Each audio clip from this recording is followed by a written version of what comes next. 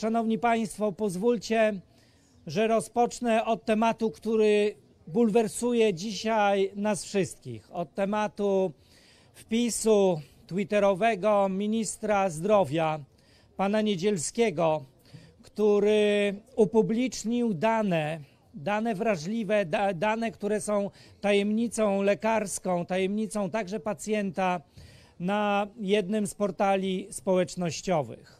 Opublikował informacje dotyczące jednego z lekarzy, który, e, e, który jest w opozycji do tej polityki prowadzonej, bardzo nieudolnej, zresztą trzeba to podkreślić, przez Ministerstwo Zdrowia dzisiaj, bo przecież wszyscy, jak tutaj jesteśmy, widzimy, że jeśli chodzi o bezpieczeństwo zdrowotne, to zarządów PiSu nic się nie zmieniło.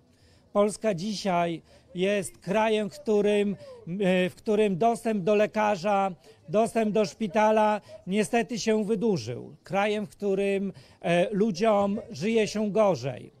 Minister Niedzielski e, oczywiście doprowadził do tego, że nie tylko mamy totalną zapaść w służbie zdrowia, ale przede wszystkim, szanowni państwo, stosuje metody, które ta władza już wcześniej stosowała. Dzisiaj nie jesteśmy już Polską, która jest Polską wolną, demokratyczną w kontekście bezpieczeństwa obywateli. Nie mamy polskiego państwa. Mamy państwo Pegasusa.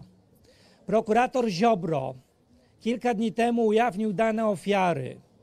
Mieliśmy kolejny skandal.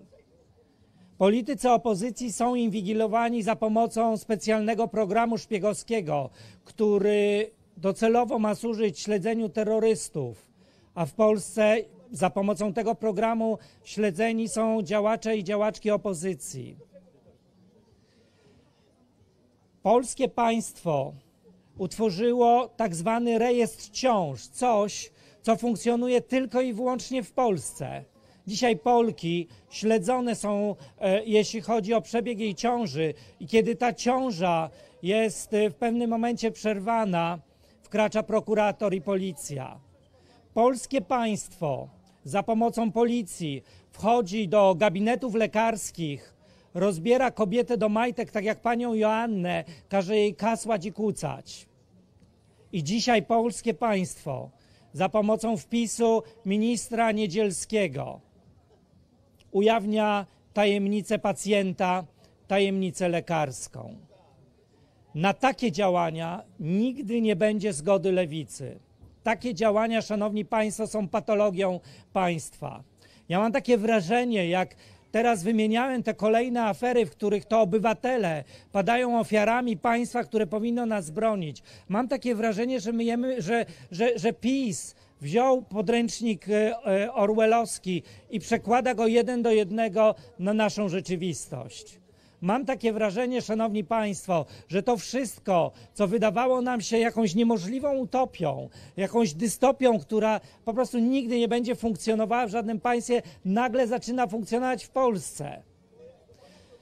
I dlatego, szanowni państwo, chciałem zapowiedzieć, że lewica składa doniesienie do prokuratury na pana ministra Niedzielskiego. Doniesienie do prokuratury w związku z przekroczeniem uprawnień funkcjonariusza publicznego, artykuł 231 kodeksu karnego, który mówi właśnie o przekroczeniu uprawnień przez funkcjonariusza, grozi to karą więzienia do lat trzech, szanowni państwo.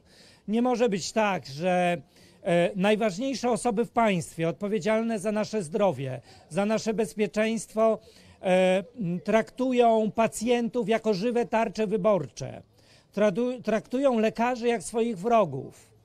Nie może być tak, szanowni państwo, że minister zdrowia odpowiedzialny za współpracę z lekarzami dzisiaj całkowicie stracił zaufanie wśród społeczności lekarskiej. Przypomnę, Naczelna Izba Lekarska także takie doniesienie do prokuratury dzisiaj składa. Lewica idzie śladem lekarzy, będzie wspierała lekarzy w walce o dobro pacjenta, ale także o godne wykonywanie zawodu lekarza, pielęgniarki, wszystkich ludzi pracujących w ochronie zdrowia. Dlaczego? Dlatego, żebyśmy się czuli po prostu bezpiecznie w Polsce. Apelujemy także do Rzecznika Praw Obywatelskich o podjęcie działań wyjaśniających e, działalność pana ministra Niedzielskiego. Apelujemy do pana Rzecznika Praw Obywatelskich, żeby sprawę dotyczącą ujawnienia danych pacjentów wyjaśnić gruntownie. Także dlatego, szanowni państwo, że pan minister Niedzielski uczestniczy w kampanii wyborczej. Jak e, wiemy powszechnie, będzie kandydował w najbliższych wyborach parlamentarnych. Istnieje zatem uzasadniona obawa, że mając dostęp do danych wrażliwych milionów Polek i Polaków, tego na jakie choroby się leczą, jakie leki zażywają, do jakiego lekarza chodzą, w jakim szpitalu przebywali, będzie próbował wykorzystywać te dane, tak jak wykorzystał je za pomocą tego ostatniego wpisu, jak wykorzystała policja przeciwko pani Joannie, jak wykorzystuje minister Ziobro, atakując ofiary, a nie skazując oprawców. Dlatego, szanowni państwo, my jako lewica składamy dzisiaj to doniesienie do prokuratury i apelujemy do Rzecznika Praw Obywatelskich o podjęcie tych działań. I na koniec, szanowni państwo, kwestia tak zwanych e-recept. E-recept, które miały być systemem, który w szybki, łatwy sposób będzie pozwalał pacjentom skorzystać z dostępu do trudnej już dzisiaj ochrony zdrowia. Te receptomaty, które dzisiaj e, funkcjonują w internecie, docelowo miały temu służyć. Ale Ministerstwo Zdrowia doprowadziło do patologii tego systemu.